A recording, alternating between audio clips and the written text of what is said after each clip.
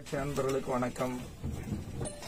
தருமபுரி சேலம் மாவட்டத்தை இணைப்பதற்கு காவிரி ஆற்றின் குறுக்கே பாலம் கட்டப்பட வேண்டும் என்ற ஐம்பது ஆண்டு கால கோரிக்கை நீண்ட நாள் கனவு திட்டத்தை தற்போது தமிழக முதலமைச்சர் அவர்கள் இருநூற்று ஐம்பது கோடியில் நிறைவேற்றப்படும் என்று அறிவித்திருக்கிறார்கள். இந்த அறிவிப்பு மகத்தான அறிவிப்பு வரவேற்புக்கூடிய அறிவிப்பு. அவர் முதலமைச்சர் அவர்களுக்கு இந்த தொகுதியின் சட்டமன்ற உறுப்பினர் என்ற அடிப்படையில் நன்றியை தெரிவித்துக் கொள்கிறேன். இதை மனதார வரவேற்கிறோம். இந்த காவிரி ஆற்றின் குறுக்கே பாலம் என்பது தருமபுரி சேலம் இரண்டு மாவட்டங்களை இணைப்பது என்பதோடு கேரள மாநிலம் கொச்சின். கோயம்புத்தூர் ஈரோடு பவானி கொளத்தூர் பெண்ணாகரம் பாலக்கோடு ஹோசூர் பெங்களூர் மும்பை என்று மிகப்பெரிய ஒரு தேசிய நெடுஞ்சாலையாக எதிர்காலத்தில் உயர்த்தப்பட இருக்கிறது. இது மிகப்பெரிய பொருளாதார வளர்ச்சிக்கும் போக்குவரத்துக்கும் வாய்ப்பாக அமையும். ஏறக்குறைய இருநூறு கிலோமீட்டர் பயண தூரம் குறைவு. அதனால பயண நேரமும் குறையும்.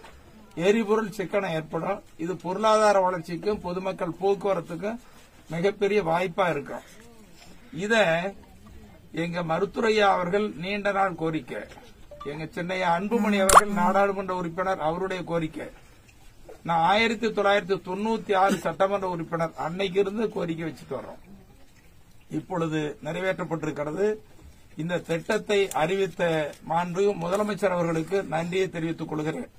இந்த திட்டம் நிறைவேறுவதற்கும் எதிர்காலத்தில் இந்த திட்டப் பணிகள் மிக வேகமாக நடைபெறுவதற்குரிய நம்முடைய முதலமைச்சர் சம்பந்தப்பட்ட அமைச்சர்கள் நாடாளுமன்ற சட்டமன்ற உறுப்பினர்கள் மாவட்ட ஆட்சியர் துறையினுடைய அதிகாரிகள் அத்தனை பேருக்கும் பாராட்டுதலையும் நன்றியும் நான் தெரிவித்துக் கொள்கிறேன். இது அரசியல் சார்பற்று மக்களுடைய வளர்ச்சி திட்டம் என்ற அடிப்படையிலே தான் இதற்கு நன்றியை தெரிவித்துக் கொள்கிறேன். எங்கள் மருத்துவையாவினுடைய கோரிக்கை எங்கள் சென்னை அன்புமணி அவருடைய நீண்ட நாள் முயற்சி. அதோட நான் 50 வருஷமா சின்ன பையனா இருக்கிற காலத்துல இருந்து இந்த ஆத்த கடந்து வருவேன். படிக்கிற காலத்துல சைக்கிள்ல அப்புறம் மோட்டர் பைக்ல வருவேன்.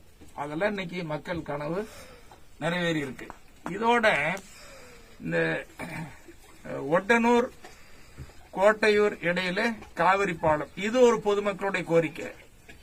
இன்னொன்னு நாகமரை பண்ணவாடி. இந்த இரண்டு ஊர்களை இணைக்கிற காவிரி ஆற்றின் பாலம். இந்த ரெண்டு கோரிக்கை வைக்கப்பட்டது.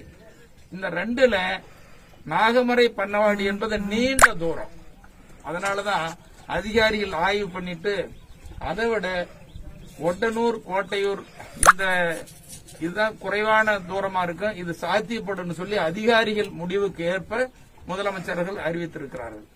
இது முதல் கட்ட ஒதுக்கீடு 250 ஐம்பது கோடி. இன்னும் திட்ட மதிப்போடு கூடுன்னு எதிர்பார்க்கிறோம். இதுக்கு முதலமைச்சர் அவர்கள் ஆவணம் செய்வார்கள்.